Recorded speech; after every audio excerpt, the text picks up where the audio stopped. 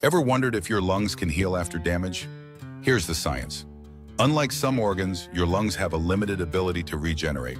Small injuries, like those from mild infections or brief exposure to irritants, can be repaired by special cells lining your airways.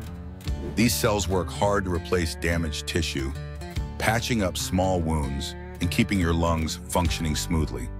But here's the catch. Serious or repeated damage, such as that caused by smoking, pollution, or chronic diseases, overwhelms this repair system.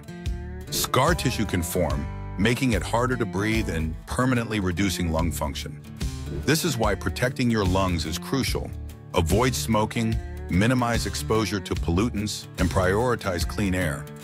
Scientists are actively studying ways to boost lung regeneration, exploring new treatments to help damaged lungs heal better.